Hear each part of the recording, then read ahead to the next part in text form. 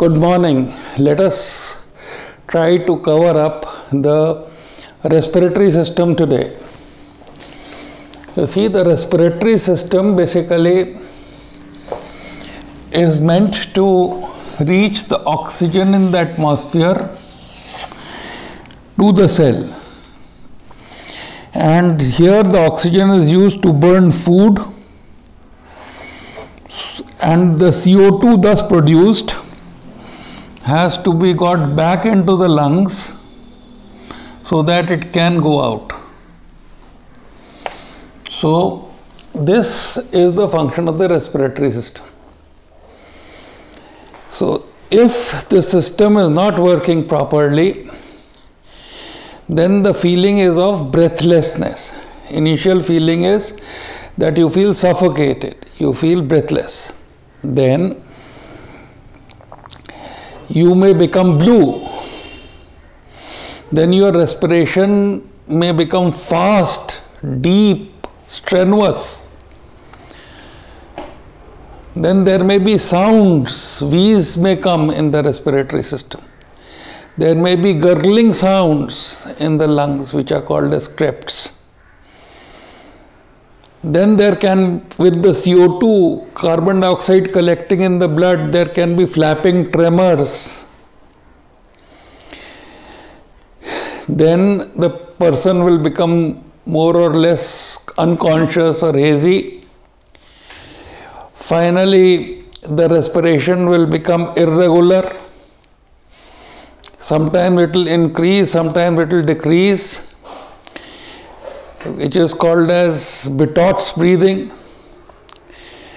Then this rhythm of increasing and decreasing will become very regular, which is called as Cheyne stroke breathing. And finally, you may have respiratory arrest. So, whenever these things are happening, you know that there is a problem with respiration. And the first thing that you have to check is is there oxygen deficiency in the atmosphere? Supposing you are at the height or you are looking after a person who is drowned in water, then obviously oxygen is not there at, in the height or drowned in water. Then you have to find out whether there is a CO2 excess. People would burn uh, coal or wood for cold and close their houses. So there can be a lot of CO2 in the house and that can cause a problem with problem. So the problem is first in the atmosphere. Then somebody may have smothered the person, they put a pillow on the mouth and the nose and that can be one of the reasons why air cannot go out and air cannot go in the third thing can be that these passages are blocked. The block can be in the lumen, in the wall, or outside the wall. In the lumen, you may aspirate food or or water, especially if you're you are not very conscious. In the wall, you have in, uh, in the wall you may have diphtheria at this level, diphtherial membrane. You may have laryngeal paralysis at the larynx level. You may have uh, uh, the bronchial asthma at this level, at the trachea level. At the alveolar level, you may have inefficient or less alveoli, which is found in a condition called emphysema. Then, if the air is coming up to the alveoli and the membrane is all right, the blood may not be coming. There may be a pulmonary embolism in the artery, or the heart may be failing to pump blood into this artery, pulmonary artery. Then the, the blood may not be able to carry oxygen for example, when the hemoglobin is less in anemia, or the hemoglobin is bound to carbon monoxide in carbon monoxide poisoning when the person is locked up in a car and the exhaust fumes having lot of carbon monoxide keep on collecting inside the car which is on fire.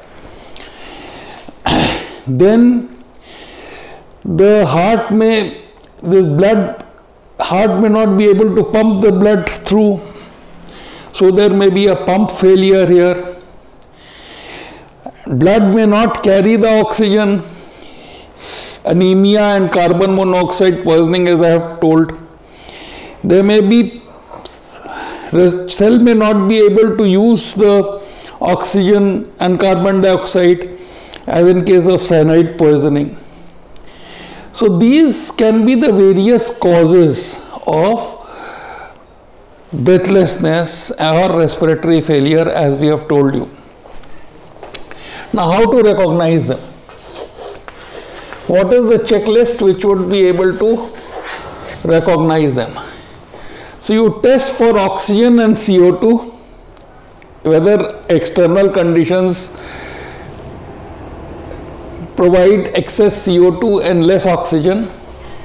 If so, as soon as you replace this, the person will quickly recover. Then, if you remove the smother, the person will quick, quickly recover.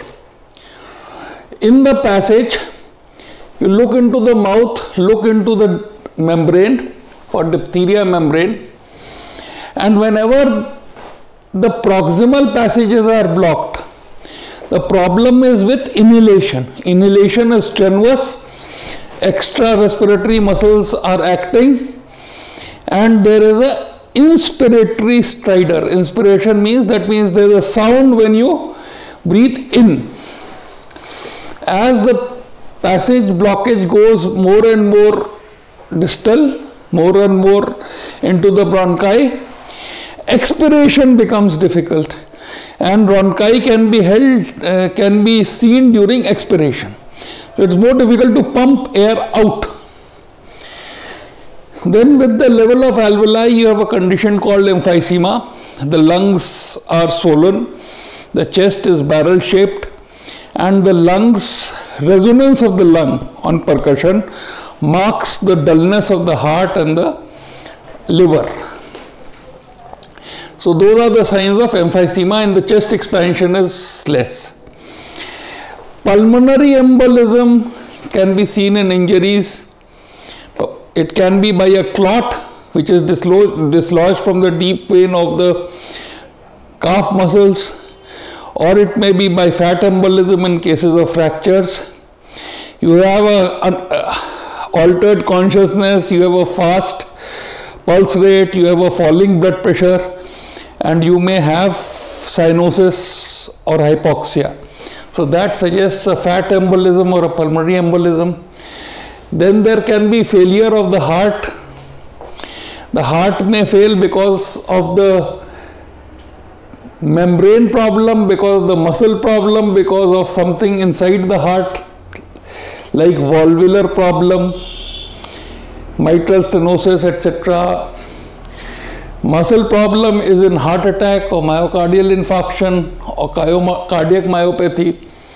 Membrane problem, you can have blood in the pericardium which can press on the heart, not allow it to distend. That is called as cardiac tamponade. Then you may have a problem of the anemia or carbon monoxide poisoning Anemia is insidious in onset, progressive in course, poor nutrition, thread worms in the stool, especially in children. If you look at the palpebral conjunctiva like this, you may be able to see pallor. So that is anemia. Carbon monoxide, the blood is not blue, it is bright red. So you don't even know that there, the blood is not able to carry oxygen. And cyanide poisoning doesn't give you a chance to diagnose because as soon as you take cyanide, the cells stop, the respiration stops, and the person is dead. So these are the short description to recognize what is happening to your patient when there is a respiratory problem as far as cause is concerned. The effect is that there is blueness or cyanosis. When CO2 collects, there are flapping tremors. The respiration becomes fast, strenuous, accessory muscles start acting. Then you have an disoriented patient. Finally, the respiration becomes increases for some time, decreases for some time, then increases for some time, decreases for some time. That is called a Cheyne stroke respiration, and it means that the respiratory center in the brain is getting affected. Finally, the respiration becomes irregular, and the patient may go into respiratory arrest. So these are the steps that that uh, occur once the problem these problems start in the respiratory system. Thank you.